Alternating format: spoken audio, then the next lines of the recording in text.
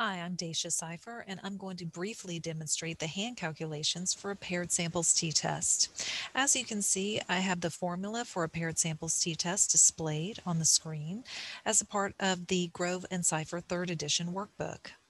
The formula for a paired samples t-test is the mean difference divided by the standard error of the difference, where specifically the numerator is the mean difference of the paired scores and the, denom the denominator is the standard error of that difference.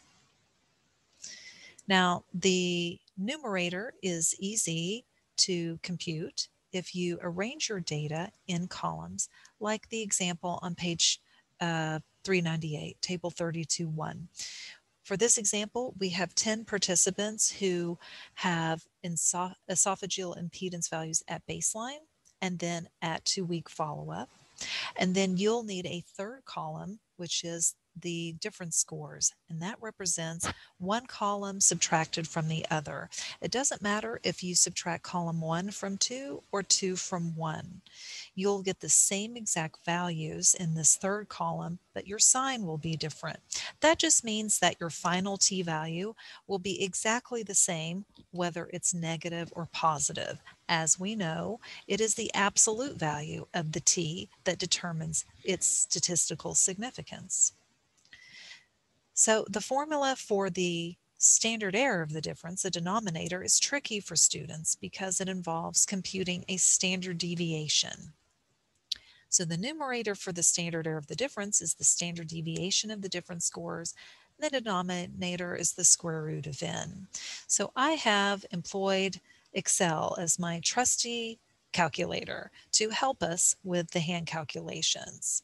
So I have carried over table 32-1 here where we have baseline esophageal impedance, follow-up esophageal impedance, and the different scores, just like you see in the book.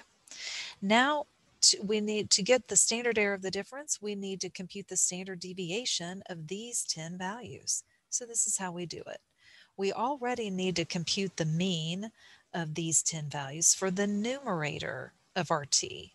So it turns out the numerator of our t, which is the mean difference, ends up being 1162.9. We need to subtract that from each and every one of these values.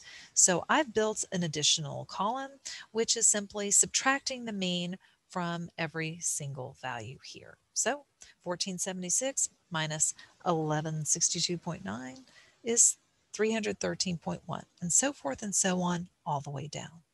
Then the last column I needed to build is to square each of these values.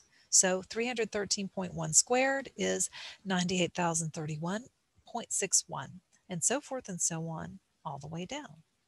The next part of obtaining a standard deviation is summing these values.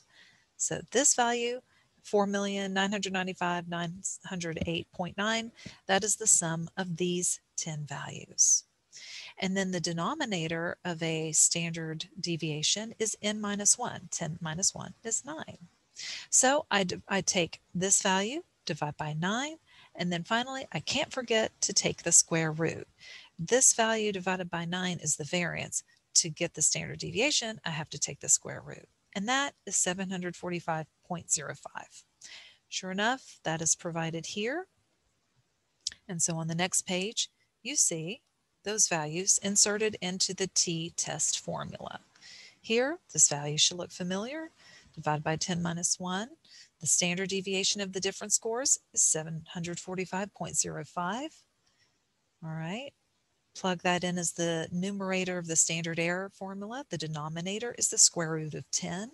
Solve for the standard error, and that is 235.78. Now we're ready to solve for the t. We know that our numerator is the mean difference, which is 1,162.9. Denominator, we have discovered, is 235.78 giving us a final t-test value of 4.93. You know you computed these calculations correctly if you go to the SPSS output and you find those values in the output.